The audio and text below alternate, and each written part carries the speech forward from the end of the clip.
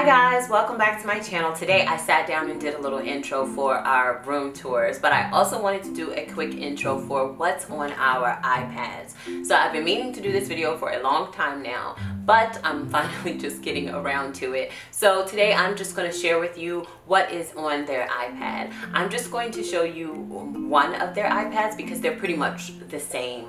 Um, my oldest has the newer iPad that has the most amount of storage on it. So he has a few extra things than my younger son does on his iPad and that's just because there's more storage on his. So I'm just going to show you one of our iPads. All of those apps are on both iPads as well as on my phone because my daughter uses my phone if she needs to complete any work on an app or do any practice on an app. But I'm just going to show you one iPad and the things that we have on it. The first app that we have is Phonics Genius. We've had this one for a while and we really like it. Um, it's basically like flashcard type format uh, that are separated by the sound blends and the blends are highlighted. Um, you can also change the settings so that they're not highlighted. They are able to listen to the speaker read the words and they're also able to record the words themselves. Each stack of flashcards is full of words that use that letter blend, but you can also add words to each stack if you like. Cursive practice is next. It's a pretty basic app and yet very effective, I feel like. They're able to practice uppercase, lowercase, um, words, sentences, and even numbers. They practice using both their finger and then a stylus as well. The next one we have is called Grow Grammar. This one's a little tricky to find in the App Store, but we've just started getting into diagramming sentences, so it has been perfect for us. It's basically a sentence building app and I love that it lays out all of the parts of speech, some that we have already covered, and then many that we haven't covered just yet. You're able to adjust the settings and create challenges. That way, they can practice building sentences using different parts of speech. The next couple of apps I have are the Mind Snacks apps. I really like these. They're just games for the kids, but they're um, really great for building their vocabulary one is just the kids vocab and the other one is the SAT version. I think this one has been great for adding a few challenge words to the mix. The next one we have is the Spelling Bee app. Um, I don't love this app so much, but it does the it does the job. Um, you're able to alphabetize. Um, they have a spelling swarm. They have a honeycomb scramble and a spelling bee. Um, you can customize it. They can study the words. Um, so yeah, it does the trick. It's not my absolute favorite, but and sometimes it gets stuck and they get a little frustrated with it. And also another thing I don't really love is that when the app dictates the words to them, sometimes it's not very clear what it is, and so they get it incorrect because the app isn't very clear. The speaking voice isn't very clear. They have pre-programmed lists that are already available, and I believe that they're separated by grade level, but then you can also create new list of your own. Next, we have our Motion Math Pizza. This is a really fun app that we just recently got. It's a pizza shop and it's a good introduction for them in business and money exchange. They have to calculate cost of doing business, replenish ingredients, set the cost of the ingredients, calculate sales. I like that they show calculations and also pie charts and bar graphs. I think it's a really well constructed app. Next up, they have their Splash Math app. We've had this for a bit of time. We use this as a main source of curriculum for us, and we love it so much. We are able to toggle between grade levels. They head straight to the categories that we'll be practicing for the day, whether it be time, measurement, money.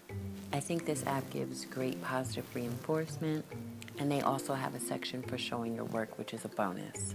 Next up is our Duolingo app. This is a fan favorite right now, a family favorite right now. They are on this app all the time. They get to toggle back and forth between different languages, but in general, my younger son is breezing through the French program, and then my older son is going through the German program. The lessons are laid out extremely well, and the app does a really great job at encouraging practice for fluency. Next, we have the Starwalk Kids app. This is an app that I got because we were starting our solar system unit. This app was really a great addition to our solar system unit. There were cute little animated videos and just the right amount of interactive features to keep the kids engaged. Adding apps like this to our unit studies is really helpful. Having different resources that reinforce the information that they're learning during the unit study makes the kids really excited about what we're learning even more. Next, we have our Hello Atlas app. The kids are able to pick languages from all different parts of the world. It's just been another fun way for them to explore different parts of the world. This app was a great little accompaniment to the book. Next up, we have our Brain Pop app. I used this in the beginning of our homeschool.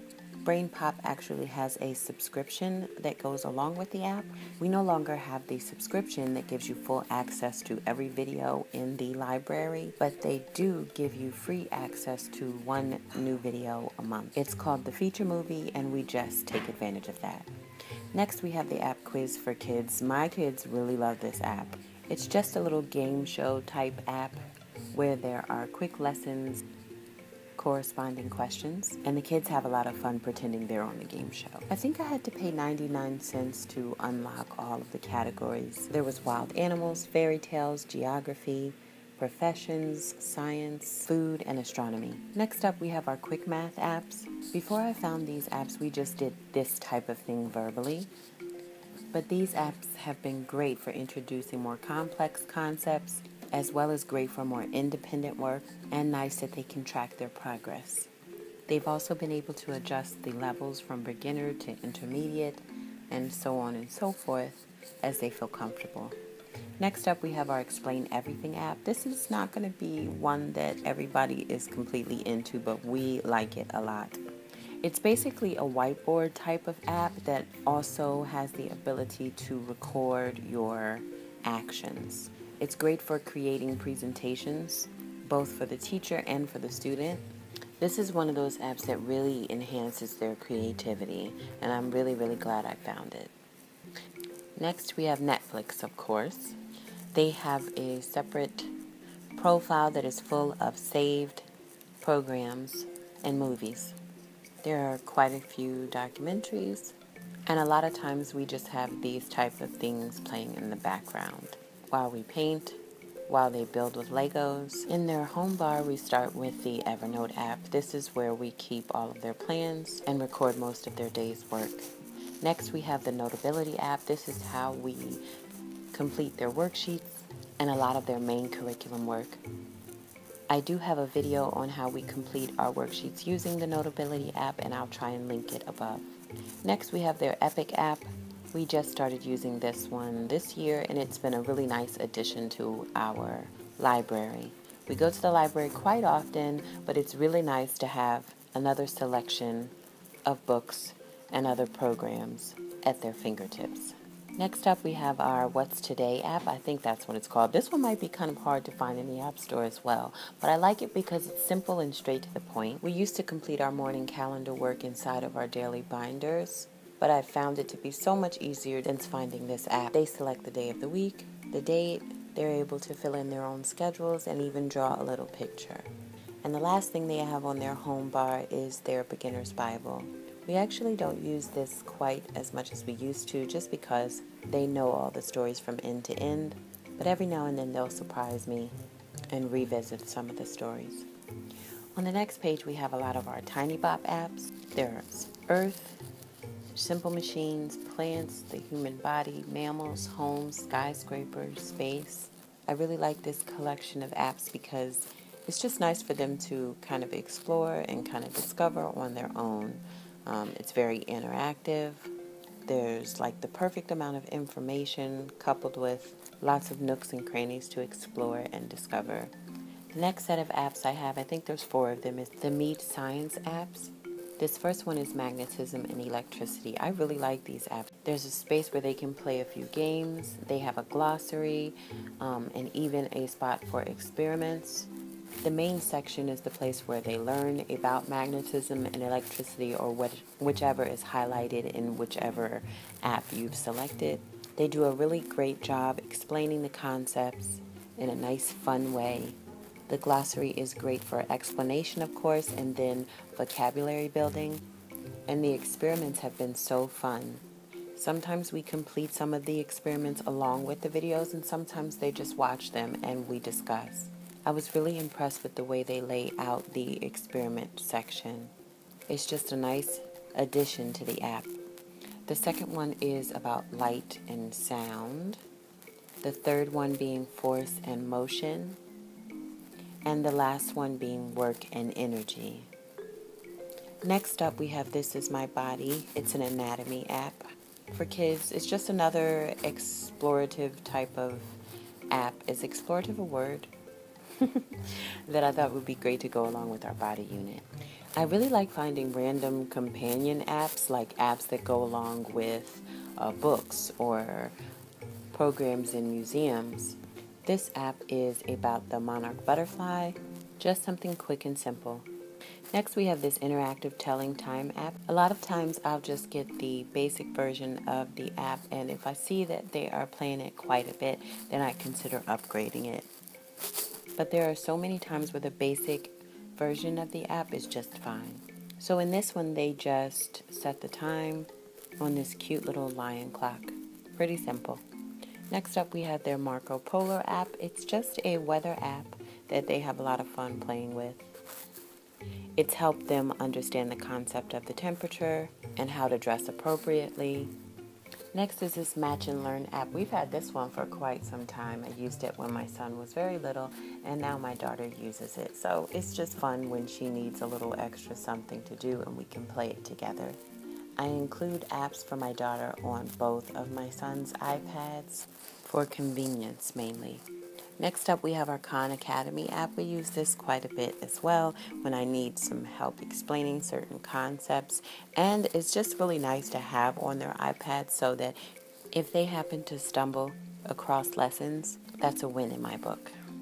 The last page is mostly full of apps for my preschooler. The first one is this A to Z music videos by ABC Mouse. We love this so much. This was an awesome way for the kids to learn beginning letter sounds. We know all of these videos by heart. Along with the ABC Mouse, we also have all of the ABC Mouse books. These were great for teaching my sons to read on their own. I mentioned this in my How My Kids Learn to Read video. So I also have these downloaded on here for her. The next one is our Duck Duck Moose reading app. My daughter loves this app. It helps her with recognizing beginning sounds, vowels, etc. Next, we have my tried and true interactive alphabet. I cannot love this app enough. I'm sure you guys are tired of hearing about this one. These next two are awesome vocabulary, beginning vocabulary builders. The Endless Reader and Endless Wordplay app. My boys have already made their way completely through these apps, but we still sometimes use them for fun dictation sentences while my preschooler is working her way through them. We try our best to do as much as possible together. And I must say, I just love looking at this app. they are so cute. The illustrations are so cute. And they're just a lot of fun to use with the kids. We also have the endless numbers, which has been perfect for beginner math. Next up, we have Moose Math. This is another great one for my preschooler. Making the smoothies are her favorite. Then next are all of our ABC Mouse books. This folder here is just our folder for languages. Like I said, they mainly use their Duolingo app, but we have a few other apps for switching things up a bit. The words are separated by category. You can switch between languages. So mostly they are doing the Spanish, French, and German, and they have a lot of fun with those. Next, I have a folder for the kid tools. It's just the basic apps that the kids use the most. So we have the photos, the note taking app, the camera, the clock, the maps, iMovie, their calendar, and their messages. Now, we use these basic apps quite a lot as we learn. They take photos of their work throughout the day. They take any notes that they don't write down physically. Um, they can put inside of their note taking app. Um, we use the clock app to time lessons. and explore the time in different parts of the world. They use their Maps app to explore where we are in relation to other countries and cities and states. They are always making new Lego movies and stop motion films. Our days of the week, months of the year, we do in our calendar app mostly. And they do a lot of spelling practice and writing practice, sending text messages to friends and family. So these are actually basic tools that we use quite often and have a big impact in our homeschool.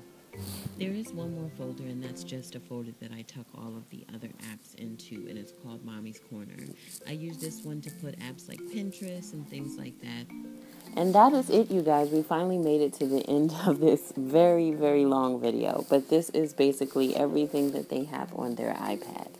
Hands down, the iPad is our favorite tool slash resource that we use in our homeschool, and we love it so much.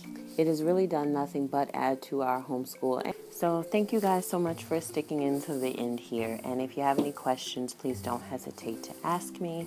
And I will see you in our next video.